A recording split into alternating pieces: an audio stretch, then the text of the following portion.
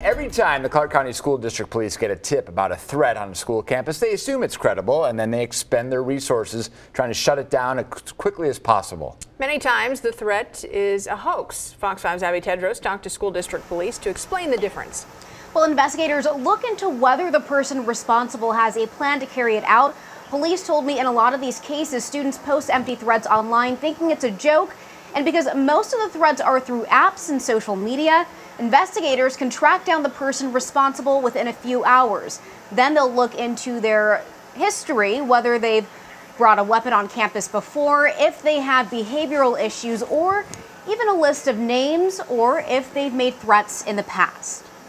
We just don't look at the incident itself. We will research them as much as possible, either social media or if the parents give us access or if we get a warrant to search their, their, their home, their bedroom, and things like that. So we gather as much information as we can. And police have responded to more than 1,700 calls of threats this school year.